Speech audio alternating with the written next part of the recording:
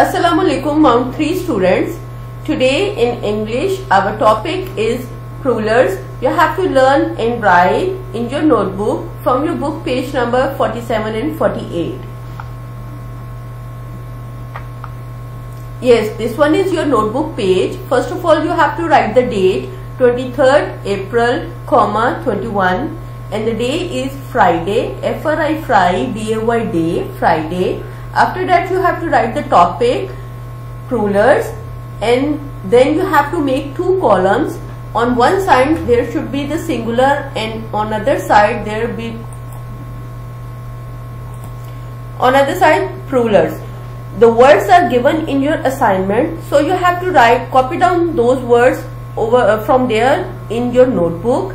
The first one is hat h a t hat. What will be the plural of hat hats.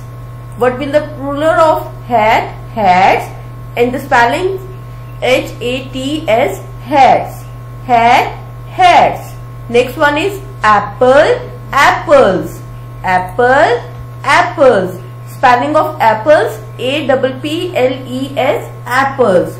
Next one is duck, ducks. Duck, ducks. आप देख रहे हैं जब मैं बोल रही हूँ तो उसमें एक साउंड एस की एड हो रही है हर वर्ड के एंड में। तो इसका मतलब है वो एक से ज़्यादा चीज़ें हैं और उनको हमने प्रूलर्स की फॉर्म में लिखना है।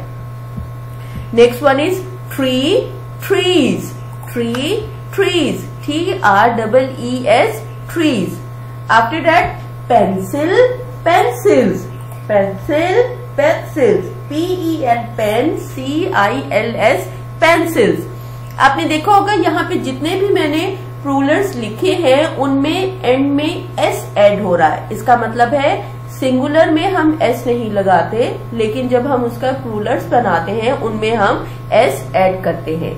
Okay the next page hand H A N D hand and hands H A N D S hands next one book books book books b double o k s books so like this you have to write singular and rulers in your notebook okay your work should be very neat and clean and your writing should be very neat आपने इस तरह अपनी notebook में singular और plurals लिखने हैं और मैं एक दफ़ा फिर से रिपीट कर दूँ singular means one thing and plurals mean more than one thing जब एक चीज़ होती है तो वो सिंगुलर होती है और जब एक से ज़्यादा चीज़ें हो जाती हैं तो वो प्रूलर्स कहलाती हैं।